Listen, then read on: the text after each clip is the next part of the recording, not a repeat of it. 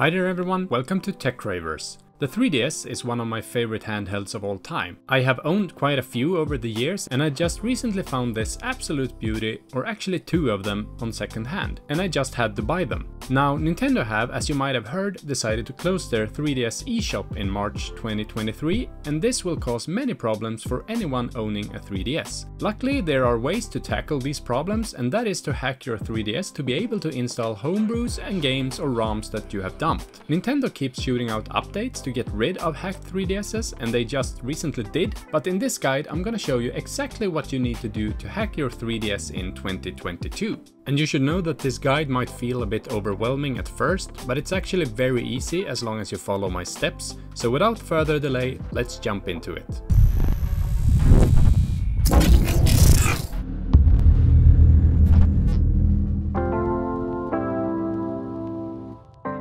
The first thing you should do before doing anything else is to make sure that you have a micro SD card. It needs to be formatted in FAT32 and I'm gonna show you how to do that later. I have a 128GB card, but you can have a smaller size as well should you want that. You shouldn't go bigger however, since it's been known to cause problems. You also need a screwdriver to be able to access the micro SD slot underneath this plastic. Other than that, you obviously need the 3DS or 2DS console. I have the new 3DS XL SNES limited edition as you can see here. Once you have all that, you need to make sure that you are on the latest firmware. As of today, in September 2022, the latest firmware is something like 11.16.0 as you can see here. I have the European version and that's what the E stands for. Your firmware might have a U or something as well, but the procedure should be the same. Now a fair warning, Nintendo might update the firmware again in the future and the ways to hack your 3DS might change. So before updating your firmware, if you're watching this from the future, make sure to check whether the information in this guide is correct. I obviously can't be responsible if you happen to brick your device. And with that said, go ahead and update your 3DS to the latest firmware if you're not on 11.16. Once that is complete, we want to grab our 3DS friend code before we head over to our PC. So go into the friends list and tap on your Me avatar. Write down the friend code that you have on your device as we will need it in a later step in this guide.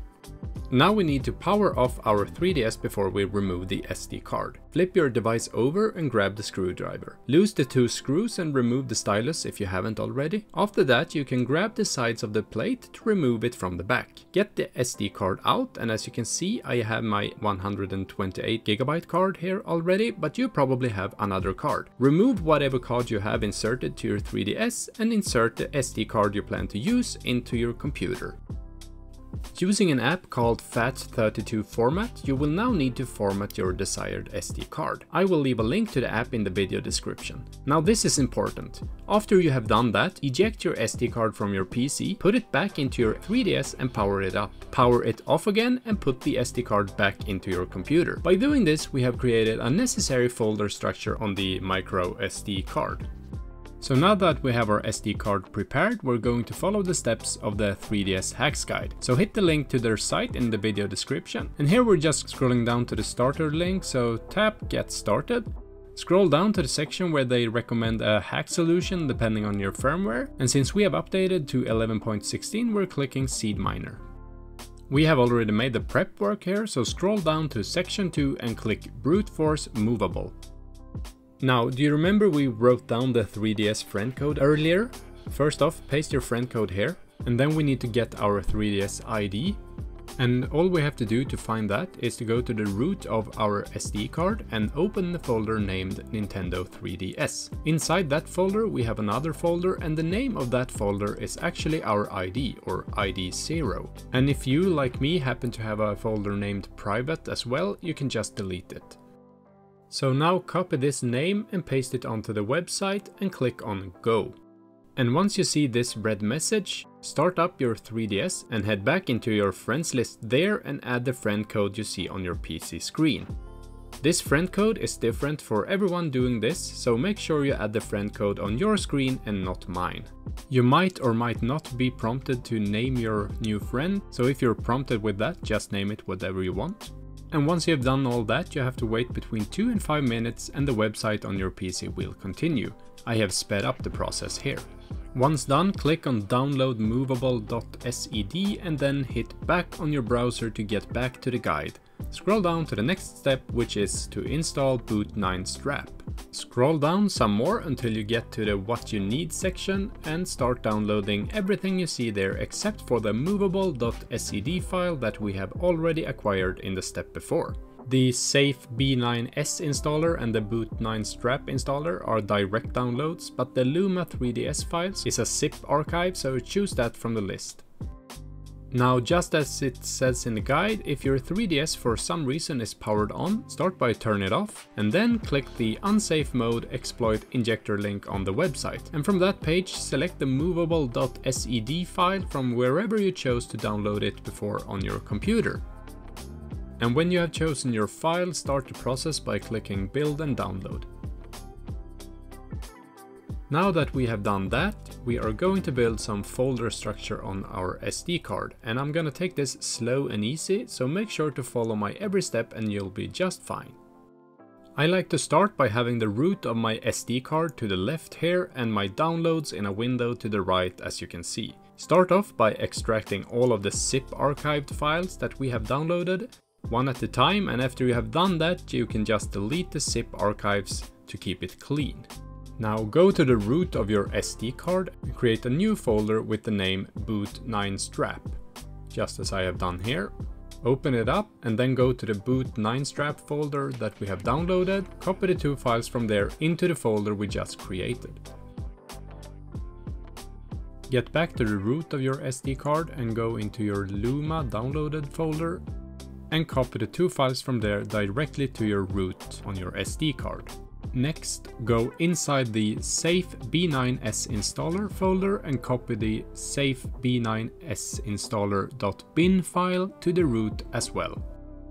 Lastly, go to the last downloaded folder named unsafe mode and copy the usm.bin file to your SD card's root as well. Then open your Nintendo 3DS folder, open your ID0 folder and then open the next folder called ID1 here you should create a new folder named Nintendo DSiWare, exactly as I have done here, mind the spelling, and then open that folder and copy the other file from the folder to your right. Once you have done all that, you are done with the PC for now, so eject the SD card and put it back into your 3DS and boot it up. Go to System Settings, click on Data Management, DSWare, and then on Micro SD. You will get a menu on the top screen, select Inject Hacks and hit A. It will say Unsafe Mode installed and your 3DS will turn off. Now to continue the hacking process we need to use a combination of buttons to access the recovery mode of the 3DS.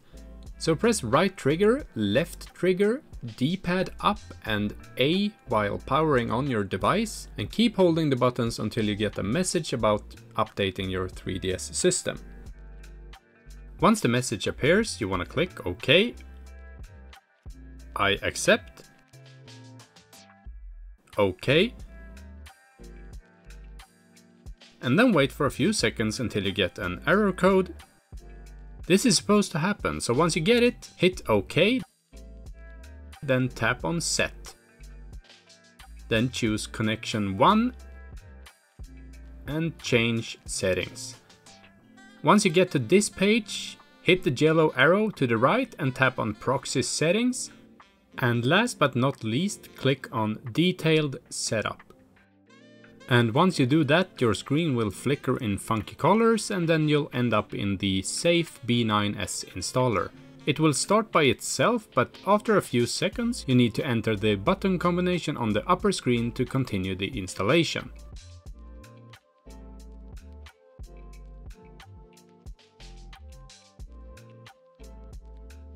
Once it's all done, it's gonna say SIGHAXed firm installed success, so press A to get back to the menu and hit start to get back to your 3DS menu.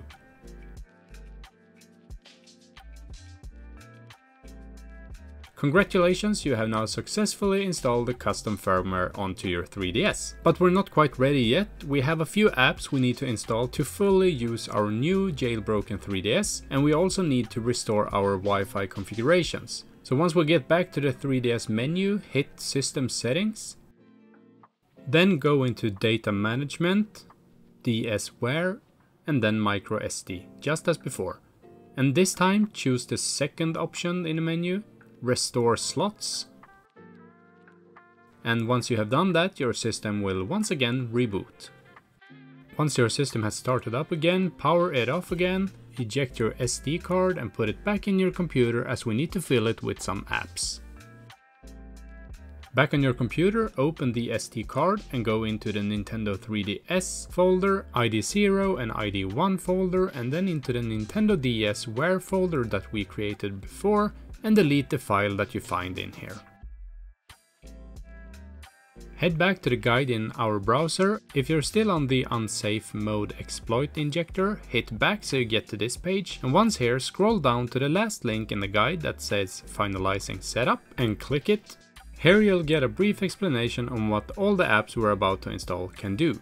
Read up on those if you want to and then scroll down to the downloads section. Here, start downloading all the files in the What You Need section. Start with Anemone 3DS and download the CIA file. Then keep downloading all the CIA files that you need. Notice that the FBI app needs both a CIA file and a 3DSX file. And the last app, called God Mode 9, is a zip archive. Once you have downloaded all the files, let's do like before and put our SD card to the left and the downloads folder to the right. Start off by extracting the God Mode 9 zip archive and then delete the zip file to keep it clean. Now create a new folder in the root of your SD card. You can name it whatever you want, but I like to name it CIAs or CIAS, since this is the folder where we're gonna stash our newly downloaded CIA files. So open it and drag all the CIA files from your downloads folder on your computer to the folder we just created on the SD card.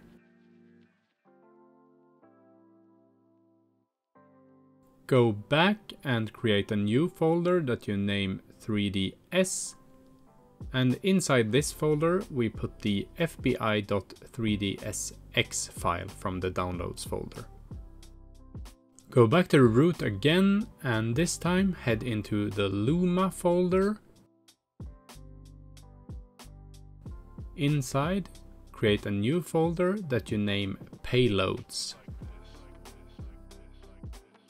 Open the folder you just created and then head into the God mode folder in your downloads section and here you want to drag the godmode9.firm file into the folder we just created on the SD card. Once that is complete, there is only one more thing we need to do here, I promise. Head back to the root and then drag the whole GM9 folder on your right to the root of your SD card. And now you're finally done, so eject your micro SD and put it back into your 3DS and start it up. Back on your 3DS, open the Download Play app. Once there, it's time for another awkward button combination again. But this time it's a little simpler. Press the left trigger button, D-pad down, plus select to access the Rosalina menu. Choose miscellaneous options, then switch the HB title to current app until it says operation succeeded. Back out to the download play app and hit the home button. Close download and play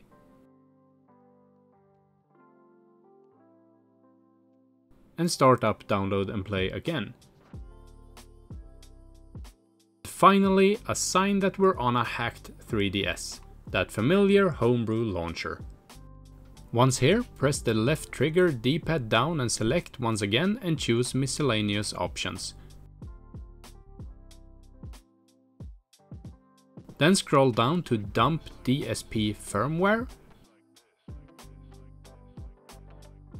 Once complete, Hit B to back out and choose Nullify User Time Offset. Once that is done, back out all the way to the Homebrew launcher and tap on FBI. From this menu, choose SD and then scroll down to our CIAs folder that we created before. Click on Current Directory and then install and delete all CIAs. This will save up some space by deleting your CIAs after installation is complete. Once the CIAs have been installed, hit the home button and you'll notice that you have some new presents on your home screen to open up.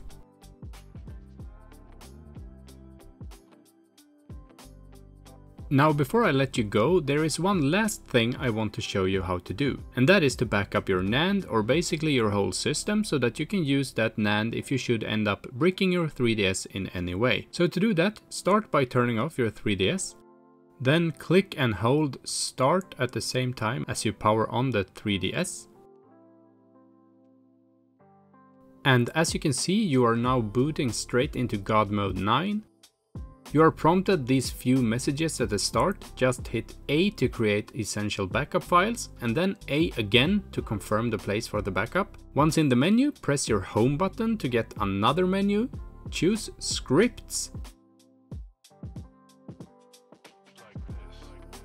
And then GM9 Megascript then scroll down to scripts from Plailect's guide and choose Setup Luma 3DS to CTR NAND.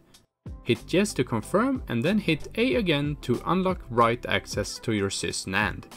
Type in the keys shown on your screen one at a time until it says Luma 3DS copied successfully.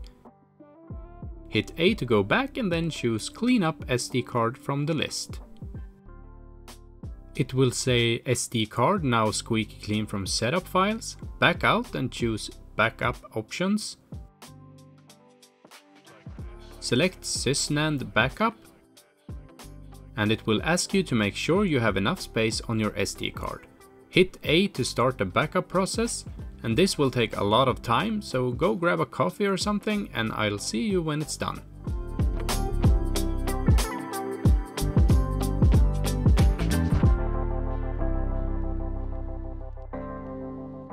Once complete, back out all the way back to the first menu. In the top screen, scroll down to SysNAND Virtual and then click on essential.exefs and then on the lower screen select the last option in the list.